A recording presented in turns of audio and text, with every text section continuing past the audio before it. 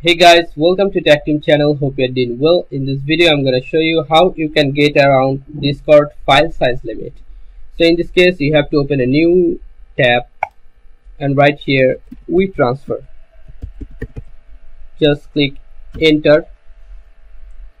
After hitting enter, you'll find here WeTransfer uh, send large files and share photos online. Click on the first link.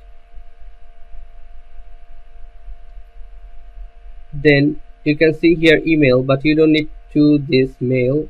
You want to transfer discord. So what you're gonna do is click here three dot and click get transfer link this one.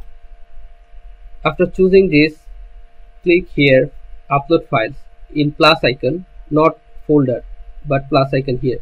You can send up to 2 GB but not more than 2 GB if you want to uh, send more than 2 GB files you have to pay for it okay so you can do this.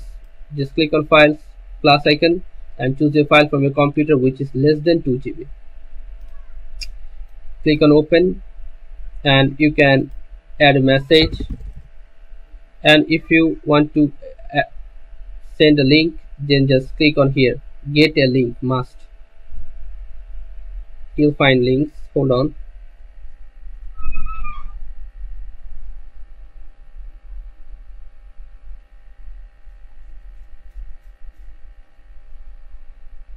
okay you can see here that link is ready. You can copy this link by clicking on this blue button.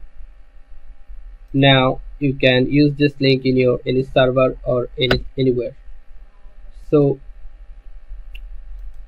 so guys this is how you can do this. So guys if you find this video helpful then please give a thumbs up and don't forget to subscribe the channel. Thank you so much for watching the video